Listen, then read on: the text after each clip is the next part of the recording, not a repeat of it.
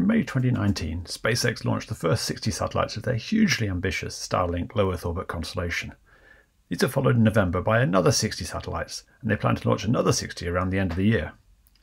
Well, I don't know exactly how SpaceX plans to operate this constellation, we can gather quite a bit of information from their FCC filings and from public comments by Elon Musk and Gwynne Shotwell. In this video, I'm going to look at how such a constellation might work, given what we know at the moment. Bear in mind I don't have any inside information, so this is what they could do if they wanted to, but probably isn't what they'll actually do. This is the underside of one of the first Starlink satellites. Those grey panels are phased array antennas, and they allow the satellite to steer very narrow radio beams so it can communicate with many ground stations at the same time without needing to move a dish around as it passes by at 27,000 km per hour. The same principles used by modern Wi Fi base stations, but while they use just a few antennas to focus power in the general direction of your phone, each of those grey panels consists of a hundred or more small antennas. They can focus a radio beam only a couple of degrees wide. They can also steer a beam a long way to the side. According to FCC filings, a ground station should be able to communicate with a satellite when it's only 25 degrees above the horizon. Okay, so what about the constellation itself?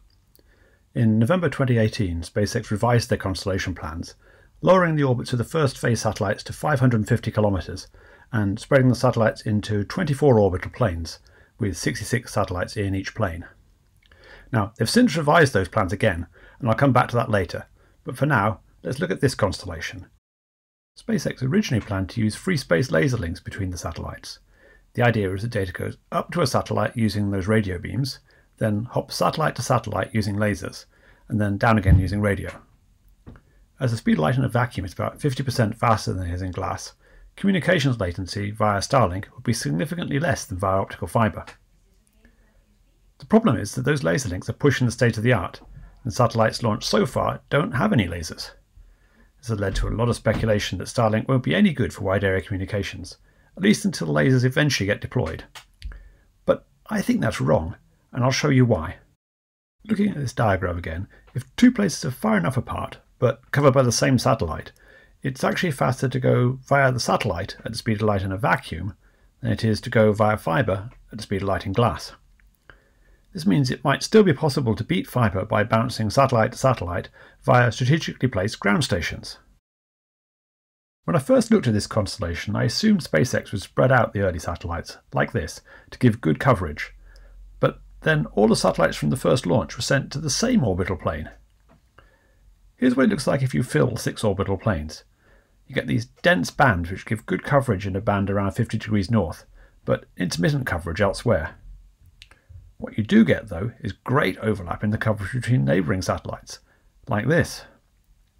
If a ground station has coverage at all, it can reach either two or three satellites pretty much all of the time. That's great for relaying data between satellites. Let's run some simulations and see how this might work. Here we've got just six orbital planes deployed, and we're using the published SpaceX ground station locations, plus a few others I added. Even with relatively few satellites and ground stations, you can get from New York to Seattle quite a bit quicker than the current internet. In fact, latency is pretty similar to optical fibre stretched tight along the best path, which isn't really possible in reality due to things like mountains and right of way issues. Now, one thing to remember is that while the orbital planes more or less stay in the same place, the Earth rotates under them once a day.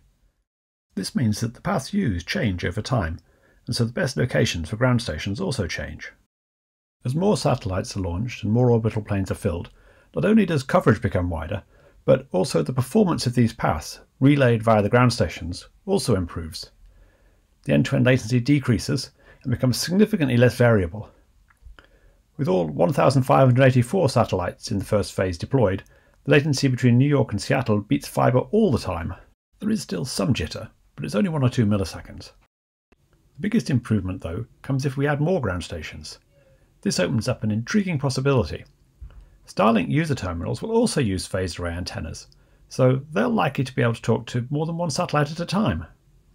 Can we use conveniently located user terminals for relays if they're currently idle? Here I've picked locations every 100 kilometers or so, once SpaceX starts selling service, there should be hundreds of thousands of locations to choose from, and many will be idle at any time. As the Earth turns, you can see how the choice of best relay changes. Even with relatively few satellites, if you have enough ground stations to choose from, you can roughly halve current internet latencies across the US. As more satellites are added, latency and jitter continue to improve. So, what's the downside? The red line shows the round trip time using 10 dedicated ground stations. The blue line shows what happens when we use all these user terminals. There's a vertical line each time the route changes. Although latency is better, the best route changes much more often, in this case about every 5 seconds on average. Now, we could add even more user terminals to the pool we choose paths from, but there's very little improvement in latency, and the routes change even more frequently. Now, SpaceX's dedicated ground stations would actually use different frequency bands than their user terminals will. So, there's a ground station in a reasonable location, it's better to use that rather than taking capacity away from other users. In the end, though, this is a trade off between capacity and latency, which is a business decision. The first Starlink users will likely be in North America, where relays are pretty easy, but the satellites cover most of the world. Can we use relays to cross between continents? It turns out that crossing the Atlantic isn't too hard, so long as you cross fairly far north, near the northern end of the satellite orbits where coverage is much denser. You need relays in Newfoundland and Ireland, and a couple of ships. Now, ships aren't cheap, but they're a lot cheaper than rockets, so this is probably doable, and again gives latency that beats optical fibre.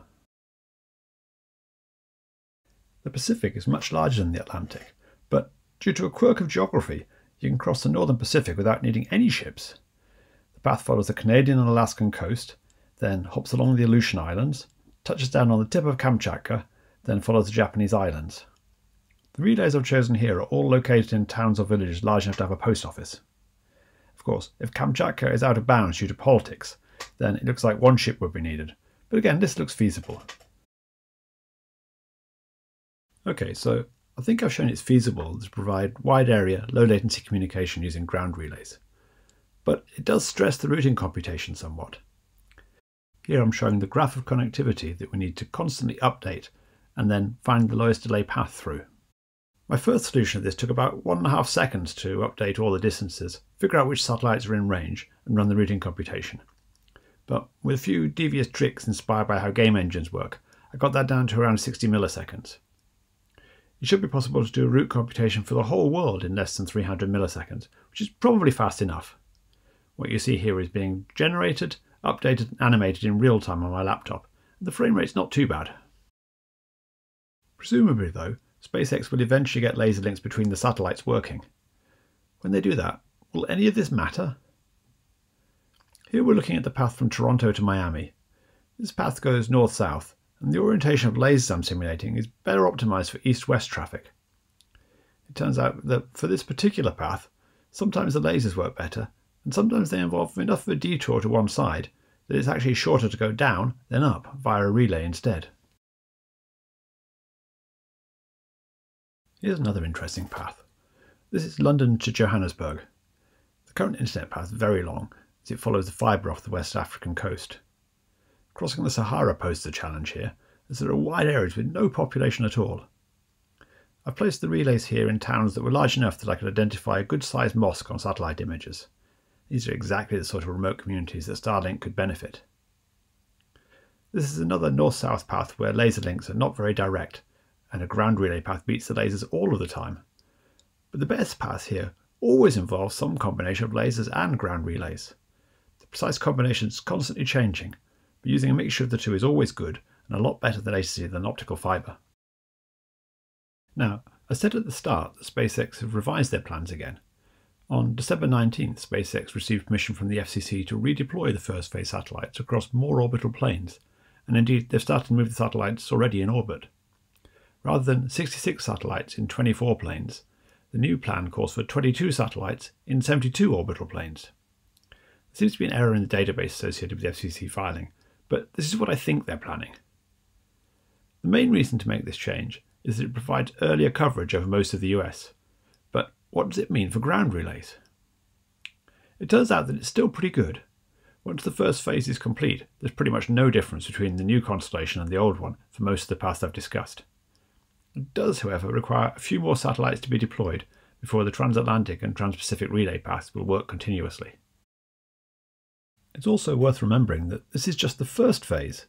If Starlink is profitable, SpaceX have permission from the FCC to launch another 10,000 satellites across various orbits, taking the total number to nearly 12,000. I'll examine those plans further in another video.